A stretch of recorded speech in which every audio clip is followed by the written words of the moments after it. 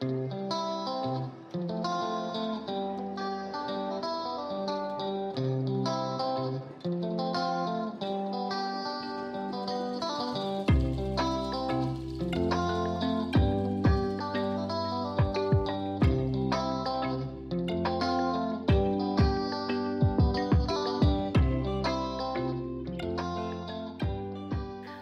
a todos, obrigada por continuarem desse lado.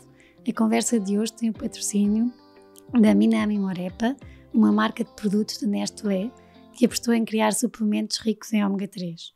Tem dois suplementos para adultos e um suplemento para crianças. A Nestlé tem vindo a desenvolver cada vez mais produtos para melhorar a saúde dos portugues e estes foram feitos a pensar no bem-estar familiar. São suplementos de ômega 3, onde através de vários estudos sabemos que está comprovado que o ômega 3 melhora o nível da empatia, da cognição e a parte cardiovascular. E tudo isto irá certamente ser um impulsionador de um melhor bem-estar. Obrigada, Nestlé, por ser uma empresa que, através deste patrocínio, mostra que não só se preocupa com uma aposta nas pessoas e na sua saúde e bem-estar. Obrigada a todos também que continuam desse lado. Hoje tenho aqui um convidado muito especial, uh, o Rui, uh, que já sigo nas redes sociais e que vou todos os dias buscar colo, uh, e por isso tenho a certeza que também vos vai ser colo. Alguns de vocês já devem conhecer, pela Irina, um, pela família e pelo tanto que nos foram dando neste percurso, mas hoje quero que também fiquem a conhecer mais sobre o Rui sobre eh, esta pessoa extraordinária, que sempre com quem eu falei me diziam: Rui é extraordinário, uh, pauta-se muito pela honra, uh, pela verdade, e eu acho que isso são valores incríveis. E a tua vida nem sempre foi linear, o que ainda é mais extraordinário. Se calhar vamos começar um bocadinho a conhecer-te, Rui, como é que foi a tua infância? Sei que tens irmãs, como é que, como é que foi a vossa infância? Onde é que foi? Uhum. Antes de mais, obrigado pelo convite. É, tenho muito gosto em estar aqui e partilhar um bocadinho uh, a minha experiência. Uh, então, eu cresci, uh, tive uma infância relativamente normal, digamos assim. Tenho duas irmãs gêmeas, mais novas. cresci com os meus pais. Uh, uma, uma vida relativamente tranquila, mudar muitas vezes de casa e de sítio, vivi em muitos sítios diferentes, entre os quais os Estados Unidos também e, e, e em Portugal em vários sítios. Uh, a maior parte da minha infância foi passada uh, entre os Estados Unidos e, e, as Caldas da Rainha, um, onde os meus pais ainda, ainda vivem. Uh, entretanto, fui crescendo, andei num colégio, uh, entretanto também uma fase uh, importante da minha vida, na adolescência, um colégio interno, foi uma experiência incrível, desenvolvi uh, muita independência, muita autonomia, muita confiança também em mim, porque nesse período uh, em que estive nesse colégio interno, e, esse, e, e, só para contextualizar, andei nesse colégio interno porque eh, na altura os meus pais voltaram para os Estados Unidos e eu não queria voltar. Eu gostava muito de viver em Portugal e, e entretanto acabei por ficar com os meus avós, onde passava os fins de semana, os fins de semana, só que uh, acabei por uh, ir para um colégio interno que adorei. Foi uma experiência incrível, mas muito difícil. Eu lembro-me perfeitamente da primeira noite lá dormi uh, sozinho numa cama e num quarto uh, com outras pessoas, com outros, com outros miúdos da minha idade, uh, longe da minha família, longe de qualquer coisa que fosse familiar e, e foi duro. Eu lembro-me de chorar a noite toda em silêncio. mas, mas eu acho que o facto de ter tido essas dificuldades e essa, essa, essa dificuldades no sentido, esses desafios, foi-me criando confiança em mim, que eu era capaz de fazer coisas difíceis. E, e é, é engraçado dizeres isso porque e já tive aqui um, um, há dois convidados que tiveram em colégios internos uhum. que não odiavam. Uhum. Uh, eu lembro a minha própria avó diz que teve um ano num colégio interno e que chorava quase todos os dias, que uhum. foi a uhum. pior coisa. Uh, e é giro que ver que numa coisa que é dura, uh, conseguiste tirar uh, alguma coisa positiva, teres ficado mais forte. Com certeza. Foi isso mesmo que eu senti. E, e eu acho que isso foi uma. Talvez uma das experiências mais significativas na construção da minha personalidade e, e, e que me deu estrutura para o futuro. E, e eu, uh, quem me conhece, sabe que eu, que, eu, que eu gosto de fazer coisas difíceis porque, porque gosto da sensação de superar e, e, e, e é isso. É, é, é, fazendo coisas difíceis nós ganhamos confiança. E foi um ano ou mais? Não, foram vários anos. Foram vários anos. Foram quatro anos. Onde fiz também grandes amizades. Um, por acaso houve um, até um almoço há pouco tempo que fazem regularmente todos os anos e que não consegui estar e que fiquei com muita pena, mas fizemos amizades para a vida toda e foi uma experiência incrível. Só tenho bem a dizer. Que bom! Quatro anos de aprendizagem. Certo. E sem a sensação de abandono, porque foste tu que escolheste, ou existiu alguma vez essa sensação de porque é que tenho de estar aqui? Estou a conseguir, é duro, uhum. gosto dos desafios, mas gostava de estar em casa uh, com a minha família. Uhum. Sim, senti isso muitas vezes. Uh, mas foi uma escolha minha. Uh, sim. Uh, foi, foi-me proposto, mas a escolha foi sempre minha. E, e aceitei-a. Aceitei com sentido de responsabilidade, apesar de ter, na altura, apenas uh, 10 anos. E aceitei com responsabilidade e aceitei-a com, aceitei com o sentido de, de que conseguia. E, mas sim, houve muitas vezes que gostaria de estar em, em, família. Os meus pais, por exemplo, ainda por cima estavam nos Estados Unidos na altura e eu só os conseguia ver duas vezes por ano, basicamente. É mas, duro? É. É duro, é. Mas tinha muito colo uh, noutros, noutras pessoas e noutros sítios.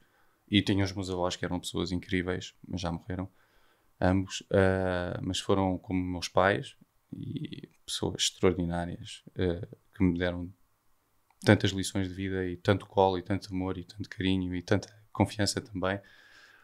E, e além disso, todos os meus amigos, eh, quer dizer, cada, cada miúdo que lá estava era meu irmão.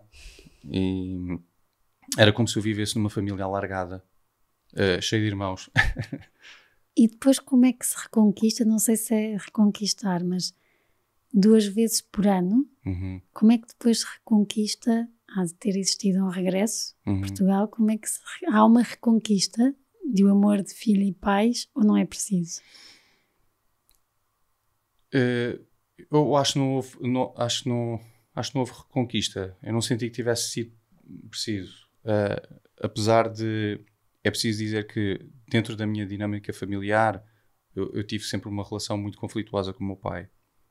Uh, e com a minha mãe uh, tive sempre uma relação de muito, muita cumplicidade, muito amor, muito carinho.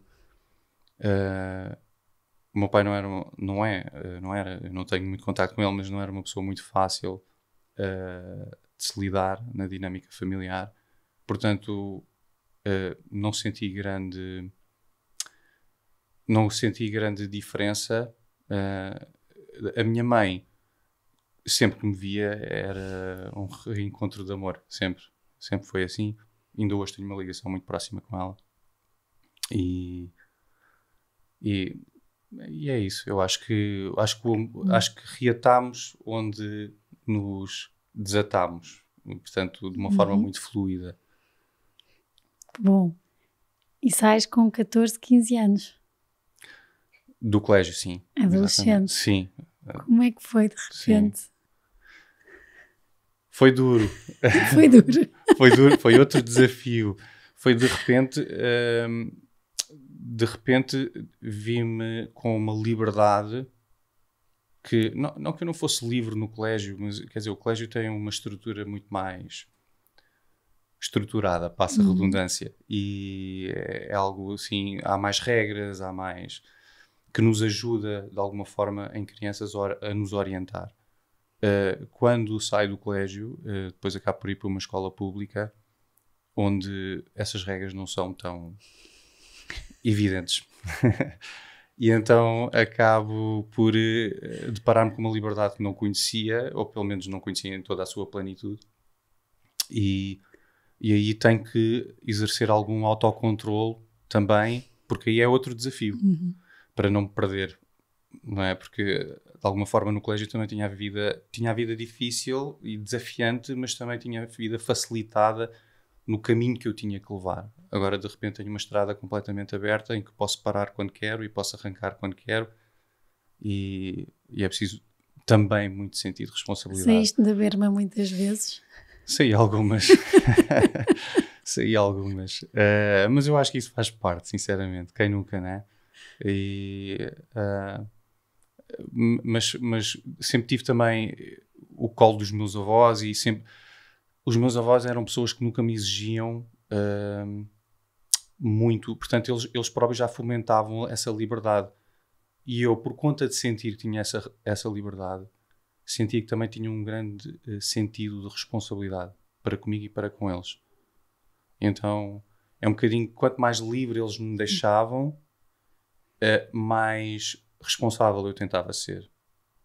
E, e, portanto foi um desafio sair, sair de linha muitas vezes, mas acho que de uma forma geral sempre tentei ser correto uh, com eles, comigo próprio, com os outros.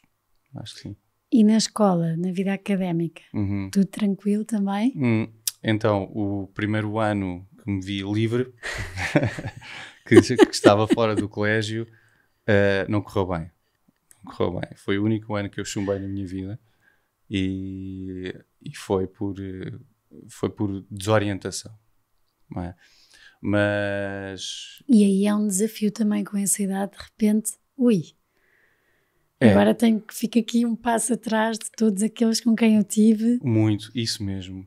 É engraçado estás a falar nisso porque eu senti exatamente isso. Senti uma perda em que eu fiquei para trás e to todos os meus amigos passaram, uh, deram um passo em frente e eu fiquei no mesmo sítio. Foi o que eu senti.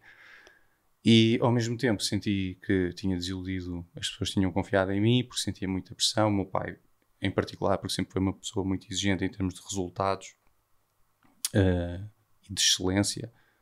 E enfim, uh, senti-me um pouco desiludido, uh, senti que tinha desiludido algumas pessoas e senti essa perda, esse, esse ficar parado.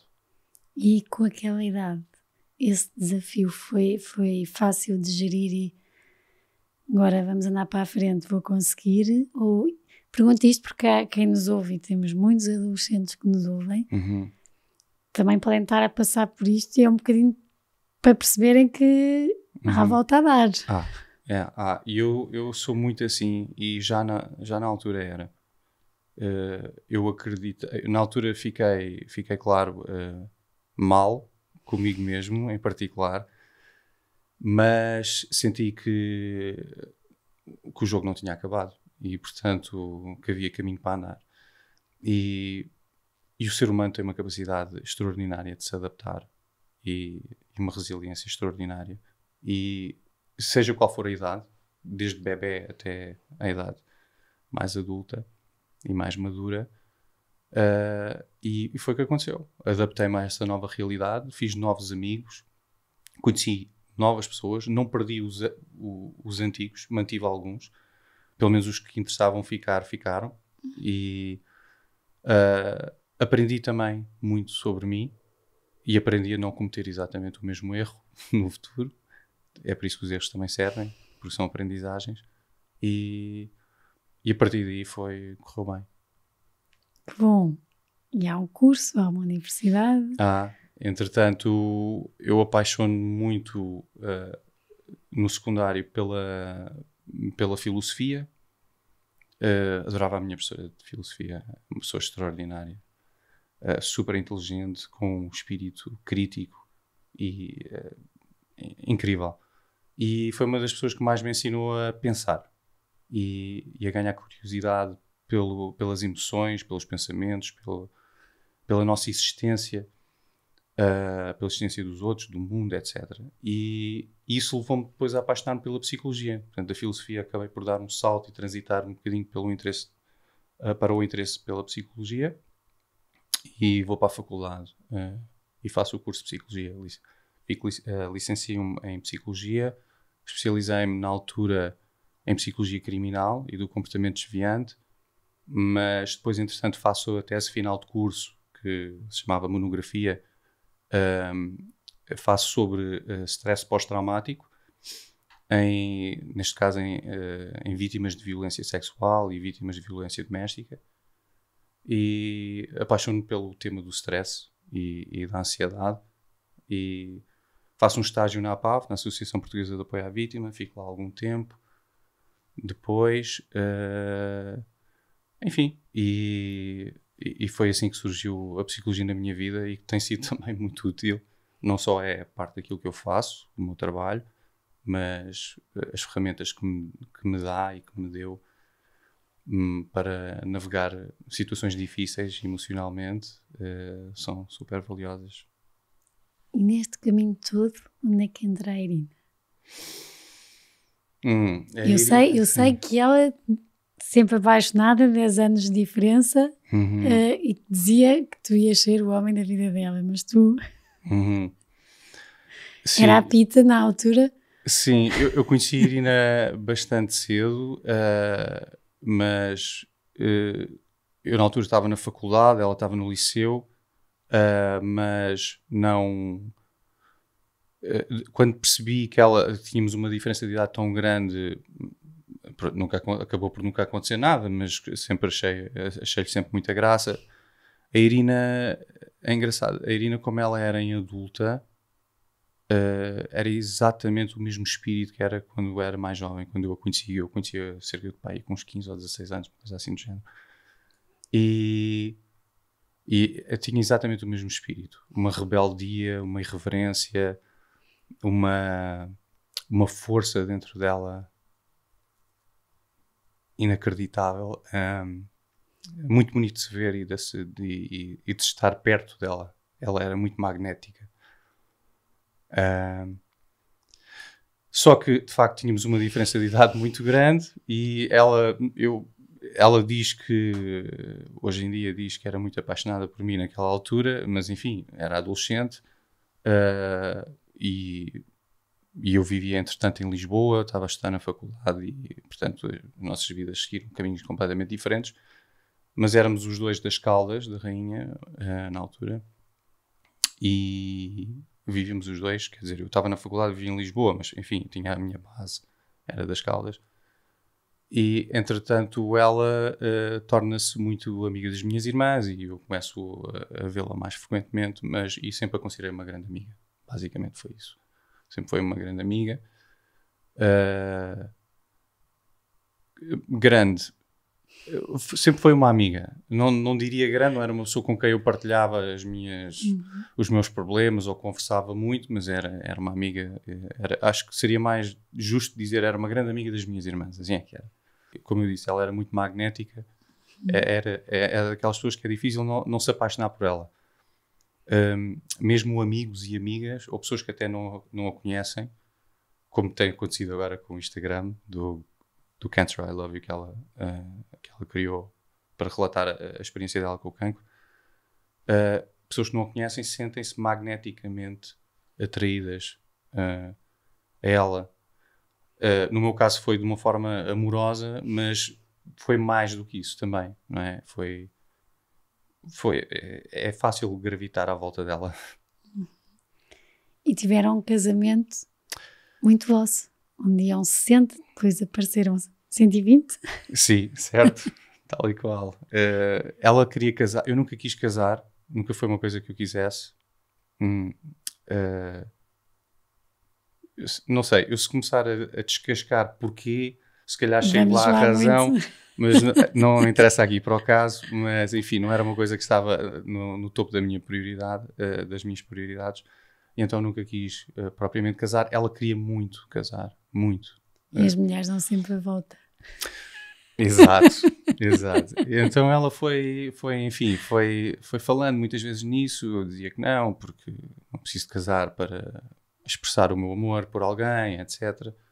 Uh, mas um dia, assim, completamente no meio do nada, estávamos a sair de Lisboa para ir para algum lado, nem sei bem para onde, sinceramente. Eu sei que parámos na, na bomba da Galp, ali, uh, ali na calçada de Carris, e, e eu estava a pôr gasolina no carro, e ela abriu, uh, abriu o vidro do carro, baixou o vidro do carro e, e perguntou, e disse-me assim, queres casar comigo?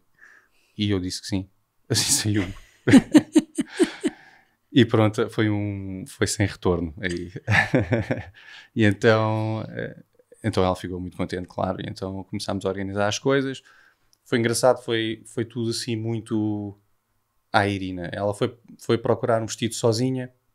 E foi à vossa medida. Foi. Foi, foi para baixo, procurou, procurou, encontrou um vestido, escolheu, experimentou tudo sozinha. comprou, comprou o vestido, decidimos que queríamos uh, casar na praia e casámos na praia. Uh, foi, foi lindo. Foi no dia 13 de setembro. Foi, tava, foi ao final do dia, estava uma tarde incrível, um dia incrível, uh, um pôr do sol incrível, os nossos amigos todos lá, tudo muito informal, tudo muito casual, foi, foi muito bonito. E depois foram pais. E depois fomos pais, sim. E mais um desafio. Mais. Esse desafio então foi bem duro. Uh, esse desafio, uh, nós uh, tivemos o Santiago, portanto ela engravidou dois anos depois de casarmos. parecia estar tudo bem, parecia uma gravidez perfeitamente normal, até que numa das ecografias, durante a gravidez, o, o médico percebe que ela tem uma placenta prévia uma condição uh, relativamente rara, não é muito comum, mas enfim, também não é tão rara assim, assim mas pode oferecer risco uh, uh, para a vida, de, neste caso do feto, do bebê ou, de, ou, até da mulher, um, mas nem sempre. Depende depois como é que evolui. O médico na altura disse: Olha, de facto está aqui com uma placenta prévia, Uh, vamos ver como é que isto vai evoluir, vamos ficar muito atentos, atentos a qualquer sinal, hemorragias, dor, etc., que possam surgir. Ok. Uh, ficámos um bocadinho apreensivos, mas enfim, confiantes que resolvia-se. Uh, o que aconteceu foi que depois, às 20 e tal semanas, não me recordo exatamente com, com exatidão, mas foi às 20 e tal semanas, ela tem uma hemorragia tremenda ela estava nas Caldas e eu estava em Inglaterra na altura, estava em, em Londres em viagem e ela estava nas Caldas da Rainha e tem uma hemorragia tremenda. Vai para o hospital, a hemorragia não para, sangue por todo lado, segundo o que ela me contou, a irmã estava com ela e é internada imediatamente. Uh, entretanto, as Caldas percebem que não têm uh, estrutura para gerir uh, aquela situação da melhor maneira, então mandam-na, transferem-na para a MAC, para a Maternidade Alfredo da Costa, onde ela depois fica internada até o nascimento do Santiago. Portanto, ela ficou lá semanas a fio, portanto, uh, até ele nascer. Hum, isso foi muito difícil. Eu estava em Inglaterra, ela diz-me que tem uma hemorragia, que está no hospital. Eu sinto-me completamente impotente, sem conseguir fazer nada.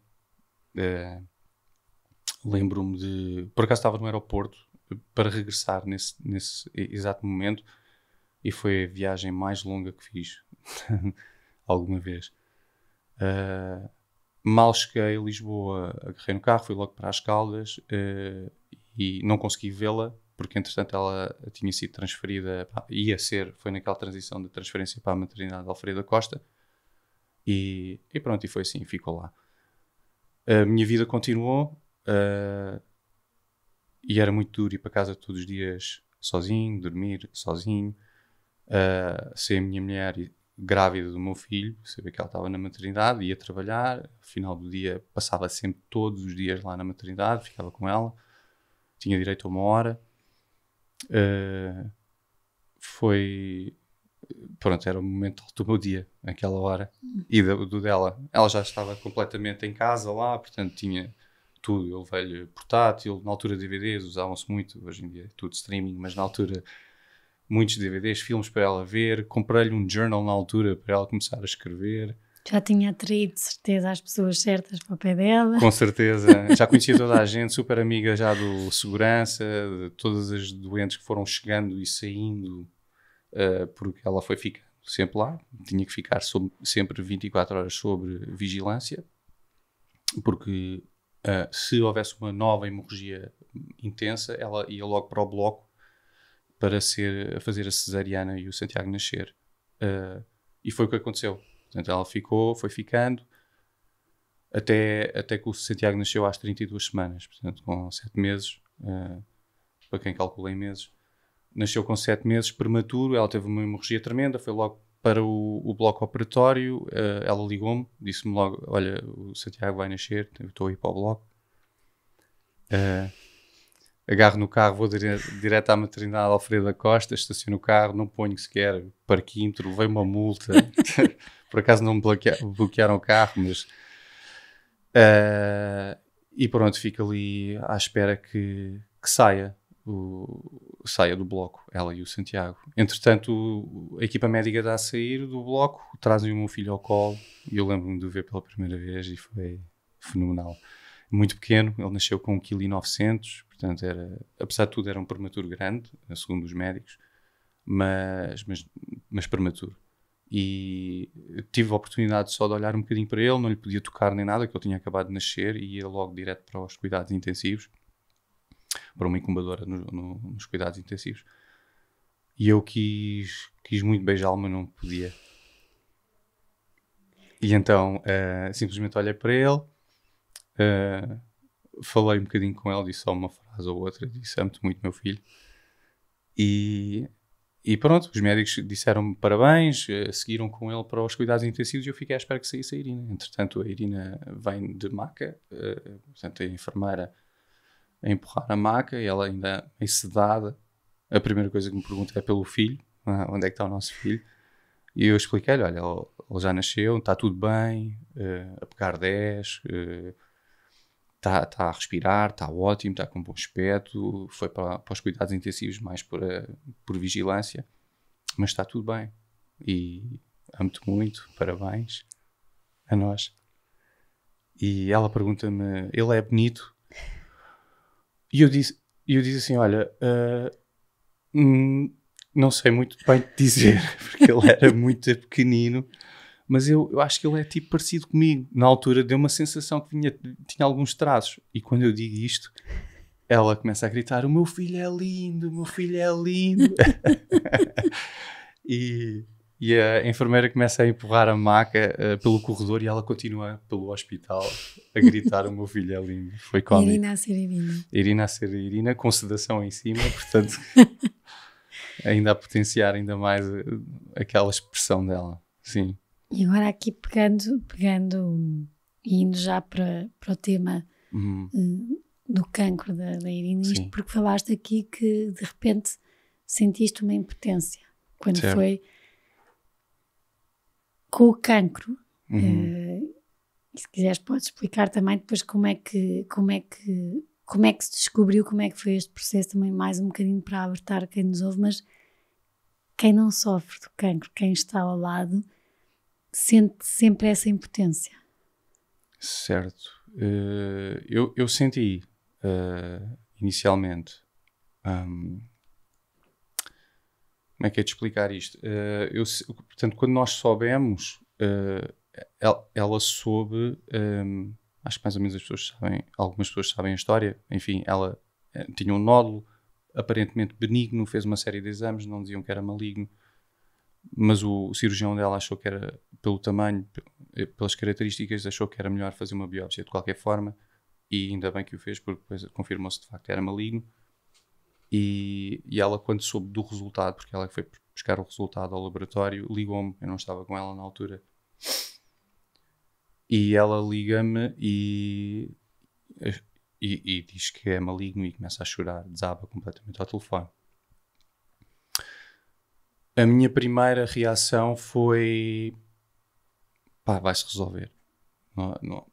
Eu tentei, da melhor forma possível, tentar tranquilizá-la, e comecei a usar todos os argumentos científicos que eu conheço. Uh, cancro da mama é uma coisa que pode-se resolver.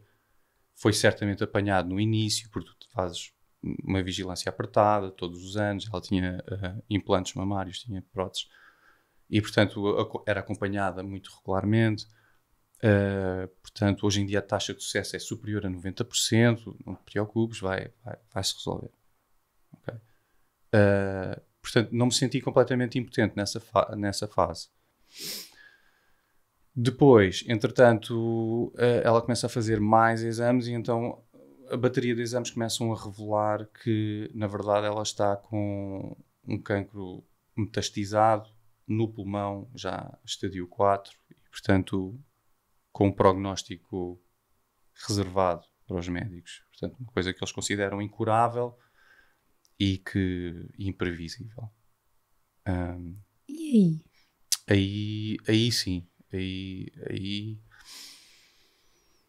aí senti-me muito, senti-me impotente, incapaz, uh, tipo, uh, falta de completo falta de controle sobre sobre qualquer coisa, fiquei, senti-me perdido. E, e ela ainda mais. Porque ela tinha uma fome e uma vontade de viver imensa. E, e as pessoas, uh, às vezes até uh, lendo um bocadinho a história dela, que ela partilha no, perdão, que ela partilha no, no Instagram dela, do, do Cancer I Love You, porque ela tinha um Instagram pessoal também, mas no do Cancer I Love You, que é basicamente os, os últimos dois anos, às vezes dá a sensação que ela aprendeu a ser feliz só nestes últimos dois anos, mas não é bem assim. Ela era muito feliz antes. Muito feliz. O que eu acho que ela realmente aprendeu uh, nestes últimos dois anos, ou reaprendeu, foi gostar de si mesma. Ela gostar de si mesma. Mas antes ela era muito feliz. Ela amava muito a vida, amava muito a família, gostava muito de mim, gostava muito do Santiago. Uh, e ela acho... tinha um amor enorme pela vida.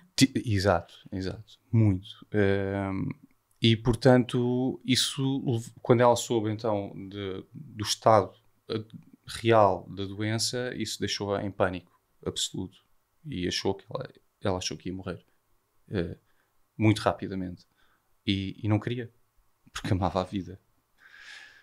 Uh, foi muito difícil essa fase. Uh, mas.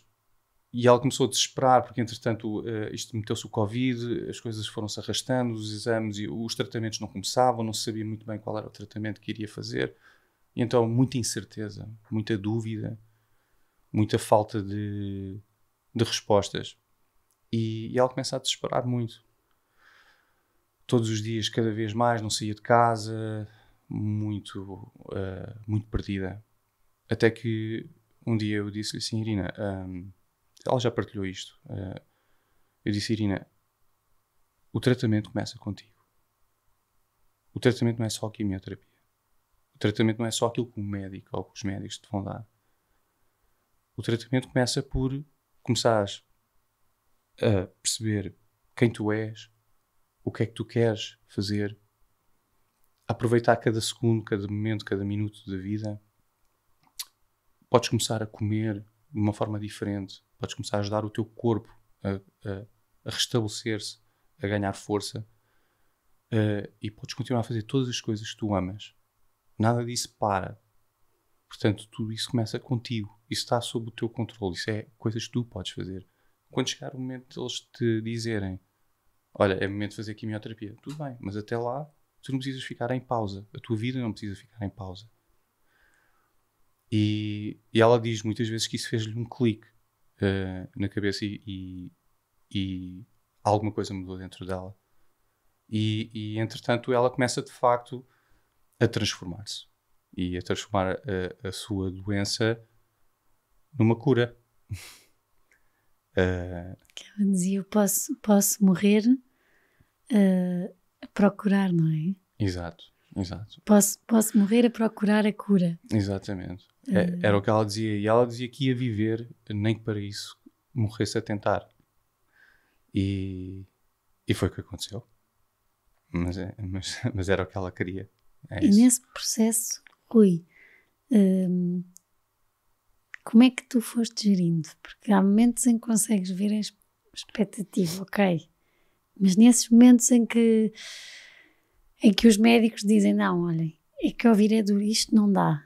Uh, como é que tu, que queres tanto uh, ou mais que a Irina uhum. esteja cá, como é que como é que vais arranjar forças uh, também para te encontrares a ti uh, agora de repente nesta realidade que tem tanta coisa, não é? Uhum.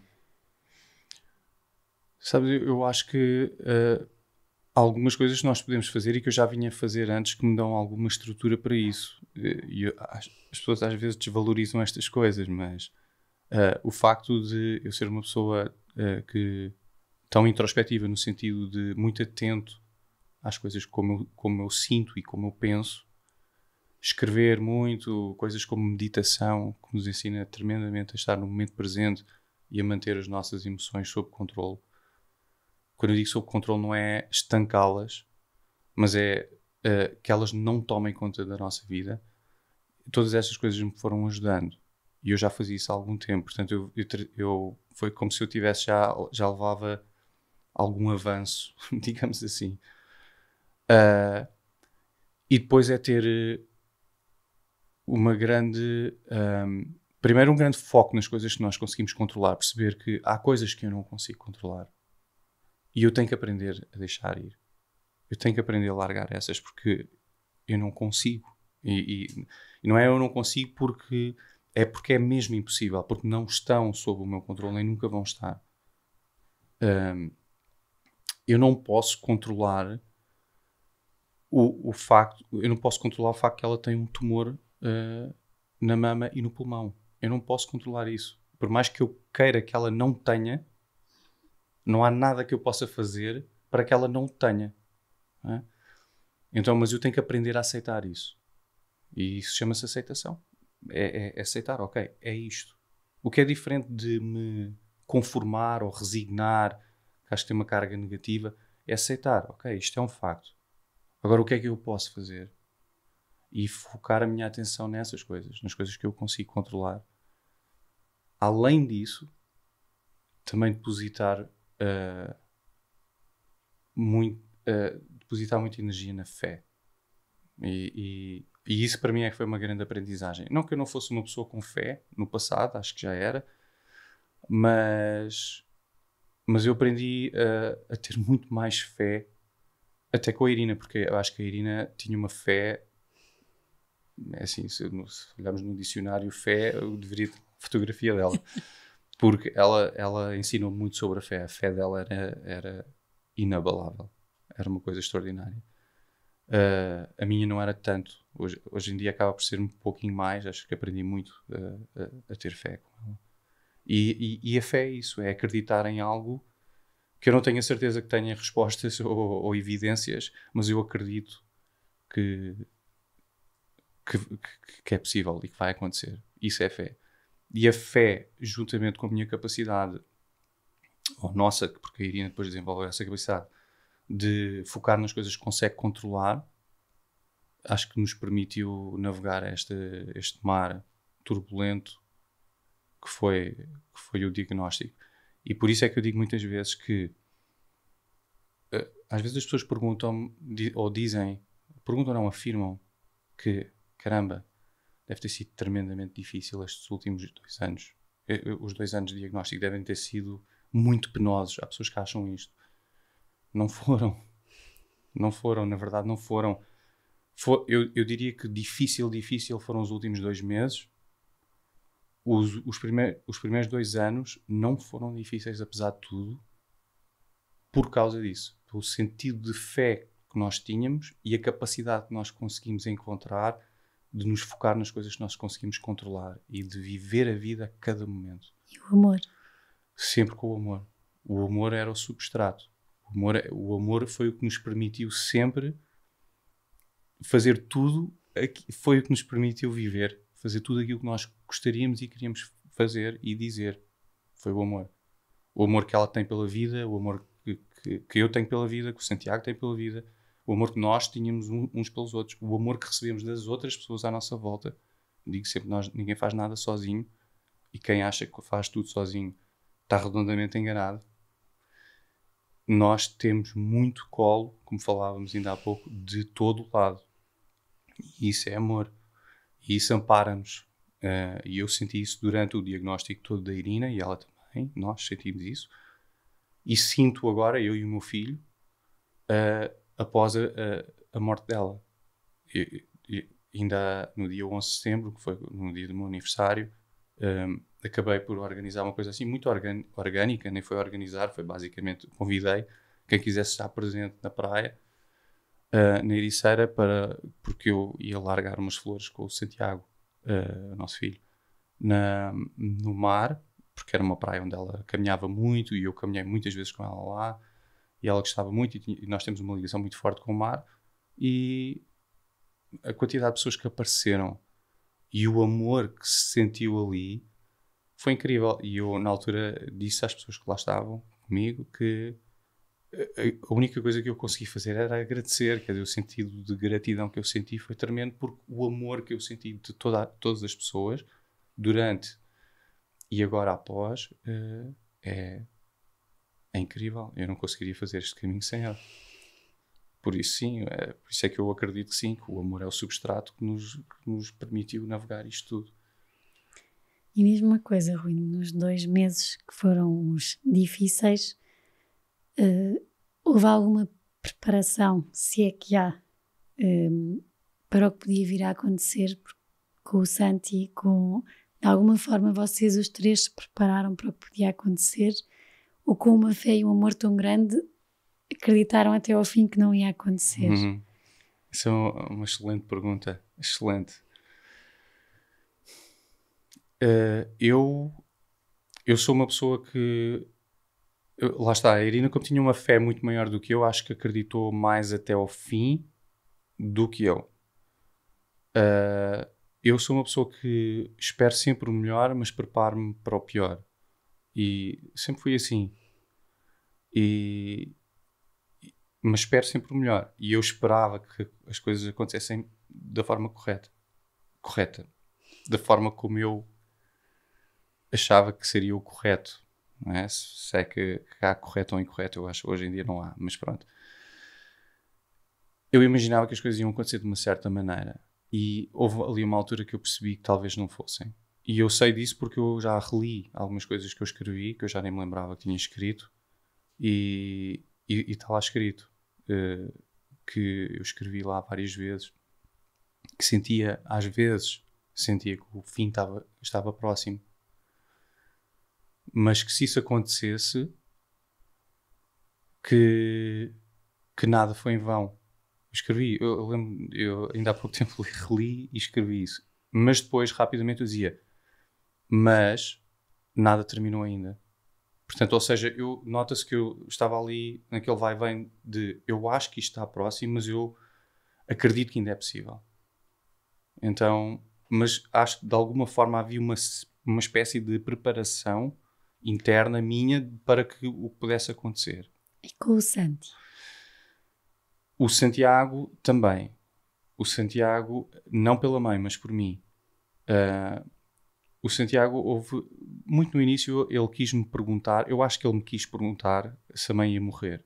Eu uma vez tínhamos estado a surfar e tínhamos saído do mar e ele, ele estava super pensativo a olhar para o mar e o que não é muito comum numa criança da idade dele. E eu percebi que ele estava, estava introspectivo e eu perguntei-lhe se estava tudo bem. E ele disse: Sim, pai, está tudo bem. Eu assim, ok. Dei-lhe o espaço dele, continuei a arrumar as coisas no carro e ele vira-se para mim e pergunta-me se, se me podia fazer uma pergunta. Ele diz assim, pai, posso fazer uma pergunta? E eu assim, podes, claro, filho, tu quiseres. E ele vai para perguntar e perguntar e para. E diz, não, esquece. E eu percebi, naquele, eu senti naquele momento que a pergunta era se a mãe ia morrer. Só que ele tinha medo da resposta. E pelo menos essa é a minha interpretação. E eu percebi isso e dei-lhe espaço e disse: Ok, filho, mas quando quiseres perguntar alguma coisa, sabes, podes perguntar ao pai, naquilo que eu puder ajudar e responder, vou tentar sempre o meu melhor. E, e assim ficou. E isto foi mais ou menos a meio dos dois anos, portanto, no final do primeiro ano. Agora, já para o fim, no início destes dois meses, onde as coisas começaram a ficar pior, ele no carro perguntou-me: íamos, íamos visitar a mãe no hospital, ela estava internada. E. porque ela ficou muitas vezes internada agora nos últimos dois meses. E ele virou-se para mim e, perguntou-me: uh, Pai, a mãe vai morrer. E eu. Uh, eu lembro que eu parei o carro e, e disse-lhe: Olha, filho, uh, eu não sei se a mãe vai morrer ou não, eu não posso dar essa respo a resposta exata, mas há uma forte possibilidade que ela possa morrer. E, e quando eu lhe disse isso, ele uh, desabou a chorar, chorou bastante uh, e disse-me que não estava preparado para a morte também. E eu, nesse, nessa altura, nesse momento, uh, abracei-o e disse-lhe que para ele não sentir que tenha que estar preparado, porque ninguém está preparado para a morte. Ninguém. Independentemente se é uma pessoa nova, se é uma pessoa já com 100 anos, se está muito doente. Nós nunca estamos. E quando a morte acontece, sentimos sempre uh, não preparados. Eu não queria que ele sentisse essa pressão de que ele não está a funcionar bem. Percebes? Porque tinha que uhum. estar preparado. Isso não existe. E eu disse-lhe isso. E eu disse. Uh, mas isso não aconteceu ainda quando acontecer, acontecerá. Mas sim, pode acontecer. Ele sentiu-se imediatamente muito mais leve, depois de ter falado, de ter feito a pergunta, de ter chorado. Por isso é que eu digo muitas vezes que as pessoas devem, não devem fugir do que é difícil. Falar e sentir. Porque, claro que empiricamente dá a sensação que é difícil, não quero isto. Não é? Mas a verdade é que uh, quando nós nos deixamos quando nós abraçamos essas emoções e, e esses sentimentos, nós aligeiramos o peso que as coisas têm e faz-nos faz, faz bem. Portanto, não é o contrário. Eu sei que parece um paradoxo uhum. fazer coisas que nos doem para nos sentirmos melhor, mas é de facto o que acontece. Uh, e, e, e, foi o que aconteceu com ele. Ele sentiu-se muito mais leve, sentiu-se melhor. E eu acho que de alguma forma isso foi já uma pré-preparação. Agora, pré-preparação, mais uma vez, porque nós não, realmente nunca estamos preparados. E foi o que aconteceu quando eu lhe disse que ela efetivamente tinha morrido. E é mais que duro. Isso foi a coisa mais dura que eu tive a fazer na minha vida. Como é que se reconstrói um pai? Agora tem que ser pai e mãe. Hum. Boa pergunta. Sei lá. Vai-se eu... caminhando.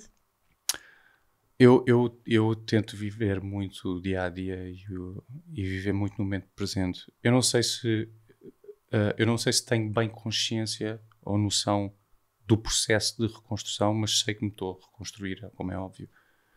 Um, mais uma vez, eu acho que eu já levava algum avanço porque nós em casa sempre fomos pai e mãe os dois. Percebes? Uhum. Uh, então, sempre fizemos, nunca houve o, modelo tradicional de o pai faz estas coisas, a mãe faz aquela.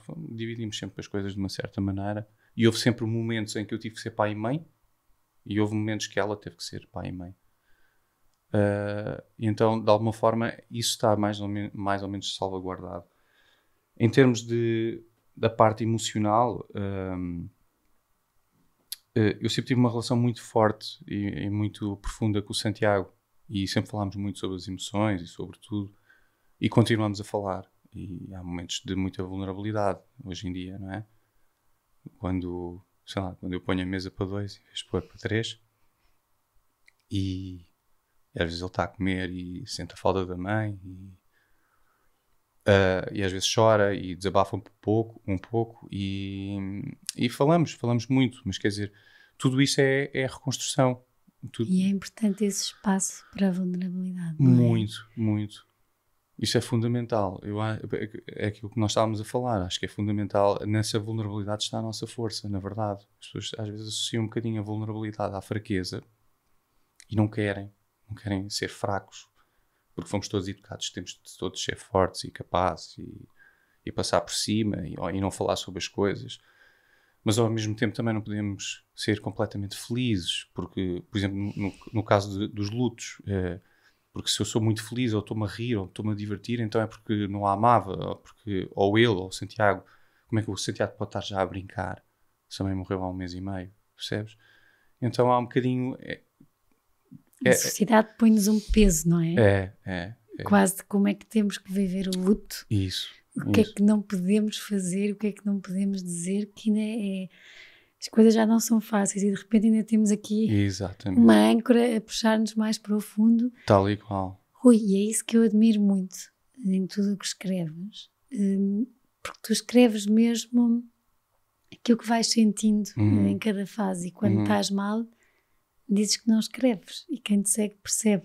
Uhum. Uhum. É um dos dias maus. Com certeza. Existe, mas ainda bem que se ri, ainda bem que faz surf, ainda bem que, que agora uhum. nada, ainda bem que a vida continua, porque é certo. é muito importante isto de o luto não obriga a tristeza contínua, permanente e estarmos de repente numa fossa em que uhum.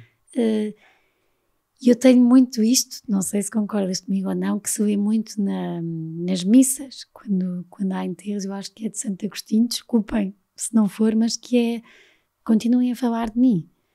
Um, e às vezes a mim dá-me uma raiva, eu acho que é mesmo raiva. Porque vê-se essa oração, há a missa de sétimo dia, a missa está cheia, e depois parece que as coisas vão diminuindo, que é normal também. Uhum. Mas começa a existir uma coisa que é o silêncio. Uh, então quem partiu queria o silêncio ou queria que continuássemos a, a falar, que, a continuar que este amor eh, por muito que, que duro seja, eh, porque há saudades, porque há tudo, mas eu acho que é isso que muitos de nós fugimos, é estamos a morrer de saudades, estamos a sofrer porque agora em vez de três pratos são dois e não vamos chorar ou não vamos mostrar fraqueza porque é tão duro que mais vale não falar e se não falarmos não vamos sofrer, mas é o contrário. Tal e qual. É isso mesmo, é isso e, e, e uma das razões que eu partilho também muito aquilo que sinto uh, através da conta do Can't I Love You, é, é precisamente porque, por um lado, faz-me muito bem, correndo o risco de parecer egoísta, mas faz, é uma coisa que me faz muito bem, é muito terapêutico. É lógico que eu escrevo também em privado, aliás, tudo aquilo que eu partilho na rede, uh, no Instagram, são coisas que eu retiro do meu journal, são coisas que eu escrevo, não está lá tudo, há coisas que eu prefiro não partilhar publicamente, mas aquelas que eu quero partilhar publicamente faço questão de o fazer. Faz-me muito bem escrever, faz-me muito bem partilhar com outras pessoas. E percebo e percebi que faz muito bem a outras pessoas também, que de alguma forma, através da minha experiência, podem retirar alguma coisa, uma ou outra, e não tem que ser necessariamente a perda de uma pessoa, pode ser a perda de um trabalho, pode ser a perda de uma relação, pode ser qualquer coisa, qualquer dificuldade, porque estas emoções, claro, as minhas neste momento estão um bocadinho mais, são um bocadinho mais focadas no luto e na perda da, da Irina, mas quer dizer, é, são coisas que são transversais, são emoções que são transversais a, a tantos problemas, até porque com a perda da Irina, eu não perdi só a Irina, eu estou a fazer o luto da Irina pessoa, mas quer dizer, estou a fazer o luto dos planos que eu tinha, do, do dos projetos futuros, uh, de, de eu próprio. Percebes que neste momento eu era alguém que eu via no reflexo dos olhos dela, não é? E agora ela já não está lá. Uh, então quem é que eu sou? Percebes? Que representação? É que eu tinha uma representação de quem eu era para ela, não é? Uh, mas eu não tenho a mesma representação para toda a gente. Mas aquela representação que eu tinha também morreu. E, e também tenho que lidar com essa perda Percebes? Eu já não tenho. Uh, enfim, já não tenho muita coisa. Não é só a pessoa, é a pessoa, mas é tudo que está à volta disso. Eu perdi a mãe do meu filho, portanto, o meu filho agora não tem mãe. Um, e, e, portanto, há, muito, há muitos tipos de perdas e, e, e, os sentimentos e as emoções são transversais a todas elas. Então, eu acho que se de alguma forma, através do Instagram, eu possa ajudar alguém, nem que seja uma pessoa, e sei que já ajudei pelo menos uma pessoa, um, e fico muito feliz e isso faz-me muito bem.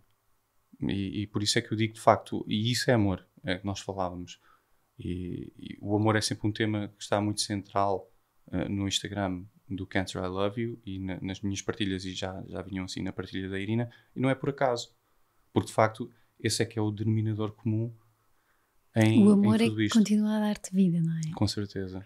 E é engraçado, eu digo muitas vezes que parece também um paradoxo, mas o amor que eu tinha por ela e o apego que eu tinha por ela e pela vida que tinha com ela era tão forte que a dor é tremenda. Porque eu acredito muito que a dor é muito proporcional ao apego e ao amor que nós temos pelas pessoas. Mas ao mesmo tempo, esse amor que me causa essa dor tão profunda também, também me alimenta a vontade de viver e de continuar a viver e de continuar a amar e dar possibilidade e oportunidade a mim mesmo de viver e de voltar a amar. A amar a vida, a amar as coisas que eu fazia, a, a criar planos, projetos no futuro, agora sem ela, alguns que, que eram comuns que eu se calhar consigo até continuar sozinho, outros que tenho que refazer, mas está tudo certo, eu tenho que me dar essa possibilidade, essa oportunidade. E é fácil abandonar esses projetos porque ah, neste processo de luto às vezes sinto que há pessoas que se perdem porque sentem que se abandonam aquele projeto que era dos dois que é quase como abandonar um bocadinho a pessoa amada e por uhum. isso, mesmo que aquilo não vá correr bem, mesmo uhum. que já não faça sentido, uhum. tem que ser porque tem que ser. E, e, eu acho que ainda bem que disseste isso, porque uh, da mesma maneira que, que disseste ao, ao, ao, Santiago que não se está preparado, também é normal se de repente algumas coisas tiverem que cair uh, e se não tiverem que continuar a ser feitas como era uh, antes e não sentir, lá está, eu volto ao peso, de repente o peso de que eu ia ser feito, então tem mesmo que se fazer e às vezes estão num caminho duro de uma coisa que já não tem que ser feita. E, e é bom esse teu caminho uh, de perceberes de facto agora tens de te reencontrar uh, em várias vertentes e umas que farão sentido cair uhum. e não há mal. Certo, não há mal, não há mal nenhum. Até porque a vida está diferente, a vida é dinâmica, não é? é e, e, não há mal nenhum. Uh, nós, e isso não é falhar, não é, não é desiludir ninguém, é adaptar. É, é adaptar e, e, reestruturar a nossa vida como tem que ser feito, independentemente da tragédia que possa se abater em nós. E, e há, há, há tragédias que são tremendamente estruturantes que, que obrigam de facto a, a remodelar completamente a vida e não há nada de errado nisso. Isso chama-se oportunidade, isso chama-se possibilidade de viver. Então aí há uma oportunidade tremenda de voltar a refazer, reestruturar a vida. E agora com natação, com muita coisa que vem aí. Sim. Uh, agora, porque eu gosto de me desafiar. O desporto é um bom aliado. É muito. E tem feito parte da minha vida. Já fazia antes. Uh, foi um, um, dos pilares da Irina durante o tempo que ela uh, teve o diagnóstico. Uh, é fundamental para a saúde mental, saúde física, saúde espiritual. É, é, é fundamental. E é uma coisa que eu continuo a fazer. E, e para, para ser sincero, no início não me apetecia muito. É? Porque a pessoa perde alguém. Alguém que até partilhava muitos desses exercícios físicos comigo, portanto era uma pessoa que corria, nós corríamos muito junto, junto ao mar, fazíamos treino hum, tipo de boxe na, numa academia de, de artes marciais. Uh, e ela estava a querer aprender a surfar também uh, porque eu e o Santiago fazemos surf e ela gostava de aprender também portanto havia muita coisa que nós fazíamos em conjunto e agora ela já não estava e a primeira sensação é não me apetece mais. Mas, mas, tu gostas de desafios. Gosto, só que aí é que eu digo às pessoas: é importante eu perceber o que é que me faz bem e o que é que não me faz bem. É, e começa tudo com essa consciência. Eu tenho que parar um bocadinho para pensar e sentir. Ok, eu, eu não me apetece ir correr. Porquê? Não me apetece fazer exercício físico. Porquê? É porque eu não gosto é porque não me faz bem ou é porque eu me sinto esvaziado, sozinho por esta perda? E se eu perceber, não, é porque eu, eu, eu corro porque eu gosto, eu faço exercício porque eu gosto, porque me faz bem, então eu vou continuar. Não me apetece, mas eu vou. E logo vejo como é que eu me sinto depois. Eu tenho que me dar a oportunidade, pelo menos de tentar. por ti. Sim. Eu tenho que tentar. E eu digo muitas vezes que às vezes a única coisa que nós podemos fazer é tentar. Agora, se eu ficar na cama uh, no escuro, eu não estou a tentar. Então vou tentar. E depois logo vejo como é que me sinto. E, e então comecei a fazer isso e voltei às minhas rotinas e, claro, comecei-me a sentir muito melhor. Curiosamente, até me senti mais próximo da Irina, apesar de ter perdido. Com vários sinais. Com vários sinais. E, e é isso. Então, o desporto, sim, faz parte da minha vida, ajuda-me muito na minha saúde mental, física e espiritual.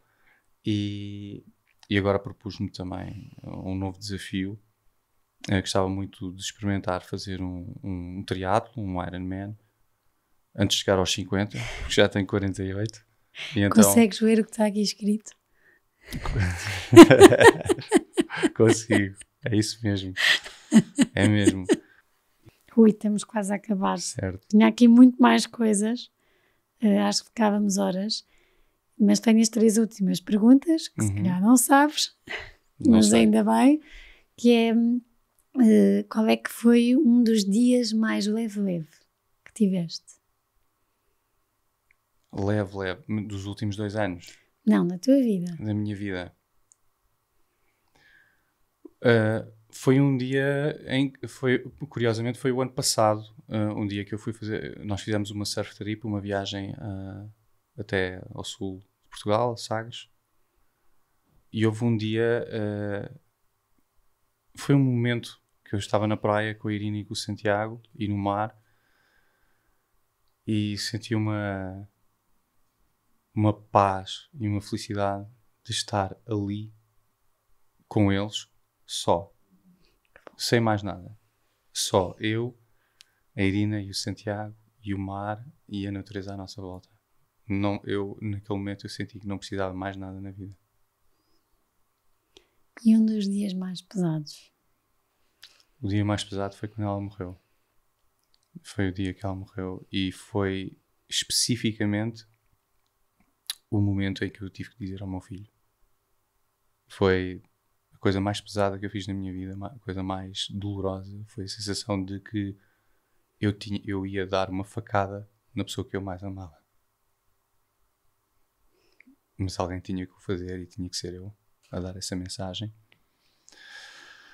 E vê-lo, uh, ver a reação dele, a dor profunda que eu tinha acabado de causar indiretamente por ser o mensageiro, não fui eu, claro, causei a dor diretamente, mas era eu que estava a dar a mensagem. E isso foi tremendamente pesado para mim. Mas. Mas às vezes temos que fazer coisas que são muito pesadas. E, e a vida continua e é possível continuar e com, com sentido de amor e de propósito. E foi isso que fizemos. A vida tem graça. Tem. Obrigada. Obrigado, eu. Foi muito Mesmo. bom. Gostei muito. Obrigada a todos por terem ouvido esta conversa. Uh, não sei como é que vou fazer o resumo do Rui, porque há tanta coisa para pegar, mas queria ressalvar aqui uma coisa que a mim não me foi indiferente. Para quem nos ouve e para nós que somos pais, que não sei se perceberam, mas o Rui não tendo a melhor relação com o pai, uh, como é que de repente também se construiu para, da forma para ser um pai incrível uh, para o Santiago, para lhe dar espaço, uh, para o deixar falar das emoções, para o deixar ser como é. Uh, e eu acho que isto não dei muito ênfase, Rui, mas ouvi e acho que é incrível e queria te dar os parabéns, porque nem todos temos essa capacidade de nos transformarmos e sermos de maneira diferente. Um, e acho que temos aqui muito a aprender com o Rui, com esta forma de o amor cura mesmo. E, e acho que o amor pela vida e o respeito que o Rui tem pela vida um, é incrível e faz com que seja um exemplo de que nada é perfeito, caminho tem altos e baixos, mas com amor mesmo, com muito amor e dar espaço a todas as emoções e a tudo o que formos sentindo, eu acho que é possível, é possível porque está a acontecer. Uh, espero mesmo que vos seja colo. Espero mesmo que, e hoje quero mandar um beijinho também, em especial a todas as pessoas, amigas e famílias, familiares da Catarina, partidário, porque estávamos a falar de casos e eu acho que nada acontece por acaso. Uh, e hoje, passado dois dias da Catarina ter morrido, eu acho que o Rui está aqui comigo. Não é por acaso, é para dar colo ao Nelson e ao filho e a todos os pais que ficam assim de repente a pôr a mesa para dois lugares, que é possível uh, com muita força, muita vontade, muito amor e fé. Obrigada a todos, espero que tenham gostado. Uma ótima semana. Obrigada por terem estado connosco até aqui. Eh, para terem acesso a, conteúdos exclusivos do podcast Páginas com Graça, como quem serão os convidados e saberem com antecedência, poderem fazer-lhes perguntas, eh, terem acesso a conteúdos extra que, que vamos conversar e que, que, vamos falar aqui. Eh, poderão ser patronos. A descrição está no, perfil, como poderão e, e como poderão sê-lo, e será sem dúvida uma mais-valia e um grande apoio para este projeto que eu acredito e que acho que os meus convidados também gostam e que irá contar muitas histórias e que, claro, que se tiver a vossa ajuda e o vosso apoio, poderemos continuar a conversar mais e a deixar capítulos e livros contados.